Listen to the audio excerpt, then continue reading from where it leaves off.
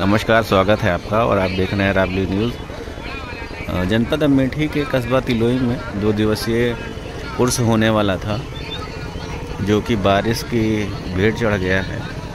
अभी जो है, जनपद अमेठी में मूसलाधार बारिश हुई थी और ओले भी गिरे थे, जिसकी वजह से ये देखिए पानी भर गया है। पानी भरने की वजह से जो है मेला जो है प्रभावित हुआ है।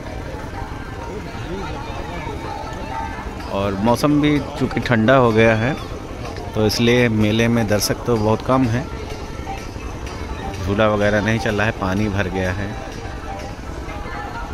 तो आइए हम दिखाते हैं आपको मेले के अंदर की झलक। ये देखिए, मेले का जो पानी भरा हुआ है, वो इंजन लगा के इस बगल में जो नहर है इसमें निकाला जा रहा है। कल भी है चूँकि यहाँ पे मेला। जिसकी वजह से ये तैयारी की जा रही है।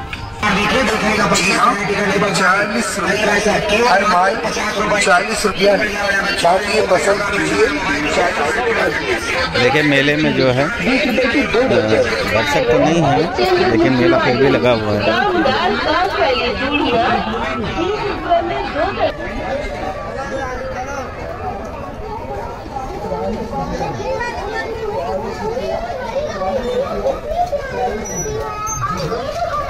ये देखिए, कीचड़ वगैरह जो है, मेले में हो गया है। क्योंकि बारिश तीन बजे के करीब हुई थी, उससे पहले लगभग एक, दो बजे करीब हुई थी, जिसकी वजह से जो है दर्शक नहीं आए हैं।